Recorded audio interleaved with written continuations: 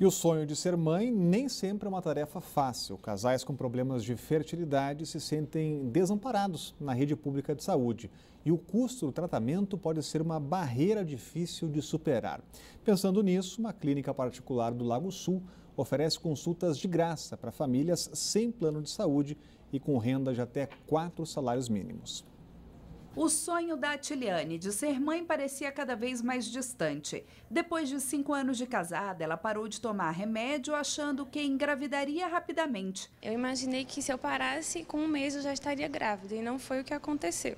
Ela conta que chegou a desistir. Depois de um ano de tentativas, eu meio que desisti. Aí fiquei triste, chorei, aí meu marido ficou insistindo, a gente voltou em consultas para poder ver o que, que podia ser feito. A esperança foi renovada depois que a Tiliane recebeu uma notícia. Poderia investigar sem custos os motivos que a impediam de engravidar.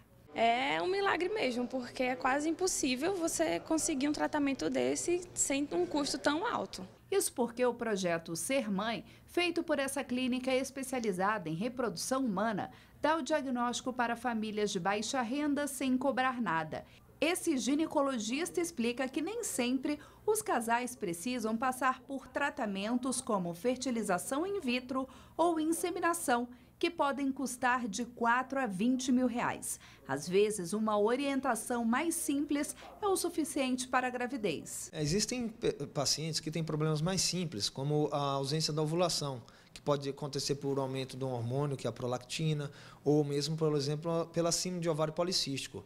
Basta, muitas vezes, um, uma pequena correção, ou correção de peso da paciente, ou utilização de comprimidos. O médico que há 10 anos oferece essa oportunidade diz que muitas famílias passam muito tempo na fila da rede pública de saúde, aguardando uma consulta, o que pode comprometer o sucesso do tratamento. As taxas de sucesso, elas dependem muito da idade, principalmente da idade da mulher. Então, por exemplo, uma fertilização in vitro numa mulher que tem 30 anos, ela vai ter 50 a 60% de chance de engravidar. Já numa mulher com mais de 40 anos, essa chance vai cair para 20%, 10%, ou mesmo essas mulheres podem não engravidar mesmo com fertilização in vitro. Pois é, para esse médico, transformar o sonho quase impossível da maternidade em realidade é um dos presentes da profissão. É uma alegria muito grande para a gente também.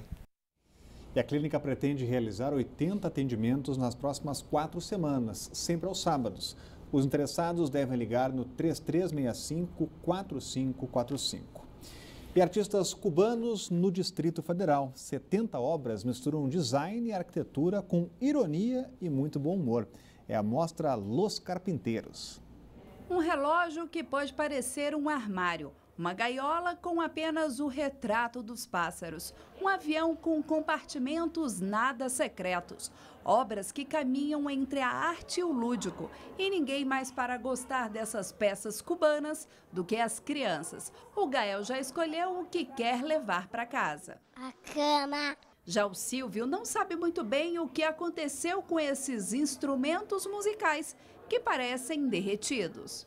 Eles dissolvem hum, um show ou quando estão levando do carro, aí molha a pessoa que está atrás do carro, aí, aí molha a mala. Ou então ele se transforma em um foguete que virou um dissolvendo.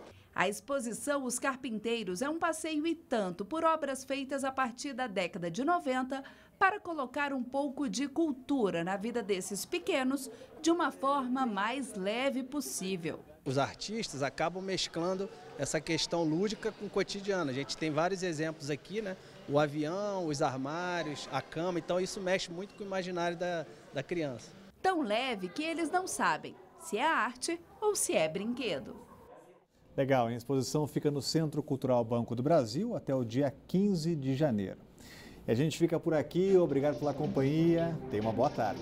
O Band Cidade Primeira Edição volta amanhã, meio-dia e meia. Tchau. Tchau.